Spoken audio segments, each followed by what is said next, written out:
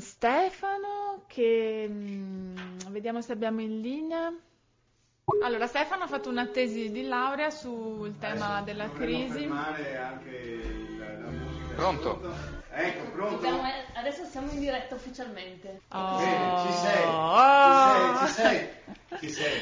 Vi sento male, ma ci sono. Ecco, Adesso ci senti un po' meglio? Un po' meglio. Un pochino meglio.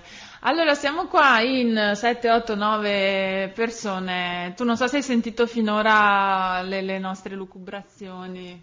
Sì, eh, sì, sentivo sempre male, però ho ascoltato quello che sono. ecco, allora, mm, niente, a questo punto noi ti chiamiamo perché eh, la, la cosa si fa seria.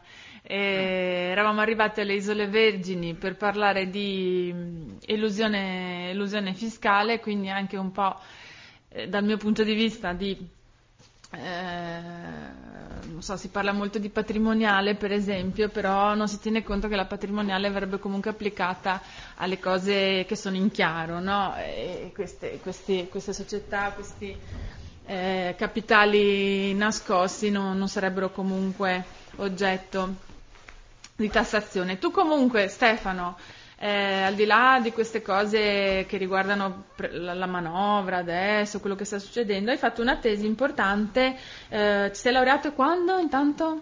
Ah, mi sono laureato qualche mese fa in, eh, in filosofia, in realtà. Perfetto, però la tua ricerca, spiegaci dai un po' eh, Sì. il tema che hai scelto. E... Sì, io essendo un po' schizofrenico, nonostante mi sia laureato in filosofia, ho deciso di, di fare una tesi magistrale sulla finanziarizzazione dell'economia. E ho deciso eh, di affrontare questo tema proprio per la sua importanza nella comprensione della società attuale.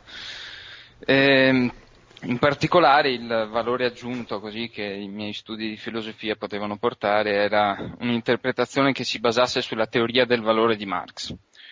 Ehm, perché? Eh, Marx ha scritto eh, circa un secolo e mezzo fa e però ha detto una cosa che ancora oggi eh, ci può venire molto utile, cioè che il denaro non lavora eh, e il denaro non crea denaro eh, da se stesso. E questa cosa è fondamentale per una comprensione rigorosa del fenomeno della finanziarizzazione, del progressivo dominio della, della finanza. Ehm, infatti oggi eh, gli economisti più, eh, più in voga o anche le istituzioni, i media interpretano il processo di finanziarizzazione in genere come un, un autonomizzarsi della sfera finanziaria dalla cosiddetta economia reale, no? Ehm, e tuttavia, analizzando rigorosamente quel che- quello che è successo negli ultimi 30 anni a livello socio-economico, ehm, è possibile quantomeno mettere in dubbio questa interpretazione.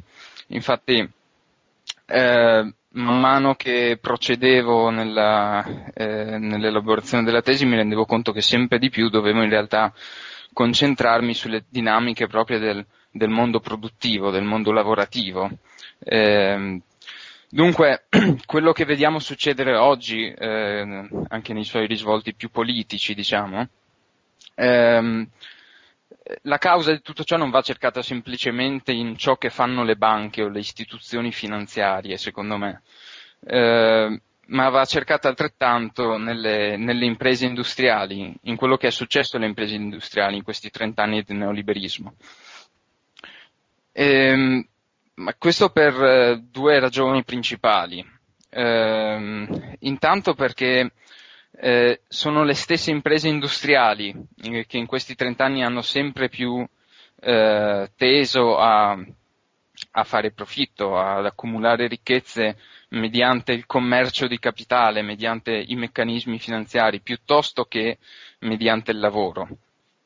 Quindi non solo le banche, ma anche le imprese industriali. Ne abbiamo un esempio sotto mano con l'esempio della Fiat, ad esempio. La Fiat eh, impegna sempre più risorse nel, eh, in attività che una volta si sarebbero dette bancarie e, e sempre meno risorse nell'attività produttiva. Stefano. Scusami Stefano, eh, eh, stavo pensando a quello che dovevo dirti più che al nome. Eh, no, vengo proprio eh, adesso che tu hai tirato fuori questo, questo argomento perché mi sembra eh, cruciale quello che stai, quello che stai dicendo. Eh, possiamo affermare che eh, tu adesso hai citato la Fiat, ma comunque la, le imprese si sono messe a, a cercare i profitti eh, nella finanza perché nella, nella, produzione reale, della, nella produzione insomma, diciamo, di, della merce, eh, negli ultimi anni non veniva più garantito quel profitto, quella, quell'aumento del tasso di profitto che era invece garantito nei, negli anni precedenti. Cioè, voglio dire, è stata questa una, uh, un ripiego della, del mondo produttivo a cercare di fare profitto eh, comunque e, proprio perché veniva meno quella, quella, quella, quel profitto che si era, si era, avuto negli anni precedenti? Allora, in un certo senso sicuramente sì. Eh, la questione però è, è molto complessa. Eh, allora, diciamo innanzitutto che ehm, eh, questo, questo, processo di finanziarizzazione possiamo datarlo, possiamo dire che è iniziato all'incirca tra gli anni 70 e gli anni 80. Eh, ed è stato esattamente il momento in cui si cercava di uscire eh, dalla cosiddetta crisi di accumulazione che si era verificata nel, nel capitalismo occidentale verso la fine degli anni 60. E questa crisi di accumulazione altro non è eh, che quello che hai detto tu in questo momento, cioè una, una crisi dei profitti eh, delle imprese industriali. Eh, e allora naturalmente ehm, la reazione è andare a cercare i profitti là dove si trovano.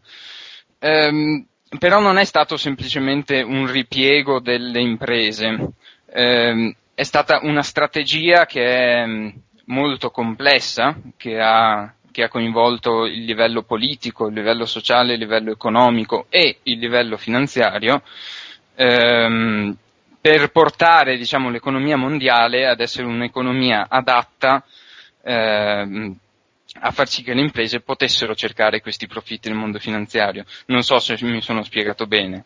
Eh, Aiutami però, eh?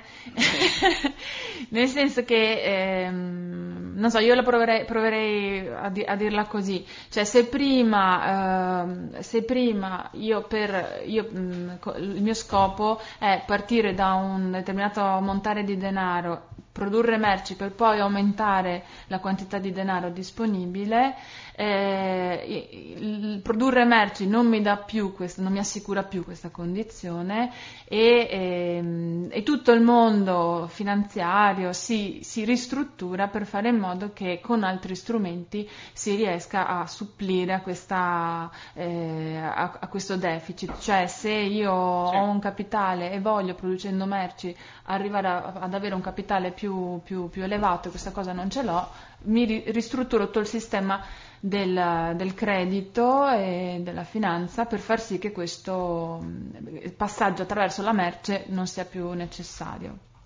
Sì, ehm, sì, sì, in soldoni è assolutamente questo. Eh, il fatto però, e naturalmente il, ehm, il, fatto per cui, il motivo per cui eh, non, non si riusciva più ad aumentare il capitale mediante la produzione di merci, eh, sta nel fatto che queste merci non si riusciva a venderle, eh, la cosiddetta crisi di, di eh, sovrapproduzione, no? Ma poi questo è tutto un altro... Certo. è un altro e quello che però è importante capire, quindi possiamo, possiamo dire esattamente così come hai detto tu, quello che però è importante capire è che tutto questo sistema che, è, eh, che è, stato creato ehm, si basa in realtà su una, una bugia, eh, e cioè che ci sia un modo alternativo eh, alla produzione di merci, al lavoro sulle merci, per produrre ricchezza. Quello che si può fare mediante la finanza e mediante il dominio della finanza è redistribuire la ricchezza ed è esattamente quello che è successo negli ultimi trent'anni. Ehm, e questo è, è, il secondo motivo per cui parlare del, del, dominio della finanza come di un autonomizzarsi della sfera finanziaria è errato. Perché, ehm, e prendiamo di nuovo l'esempio della Fiat. La Fiat ehm, sta investendo sempre più ricchezze nel, diciamo, nel, suo settore finanziario, addirittura delle banche in Argentina, ehm, ma sta anche aumentando i suoi, i suoi livelli di profitto, nonostante faccia lavorare sempre meno e sempre meno gente. Eh, come lo sta facendo? Lo sta facendo riducendo i diritti dei lavoratori, eh, lo sta facendo esternalizzando, eh, precarizzando eh, i lavoratori e, ehm, e, sostanzialmente questo si traduce in eh, meno ricchezza che quei lavoratori lavorando possono acquisire e si traduce in più ricchezza che la Fiat invece può accumulare, anche se fa lavorare meno. Eh, allora, questo è quello che è accaduto a livello sistemico, esattamente questo, cioè eh, attraverso insomma, tutte le politiche neoliberiste che, eh, che, ormai sono abbastanza note, le strategie, la, la cosiddetta globalizzazione che ha portato a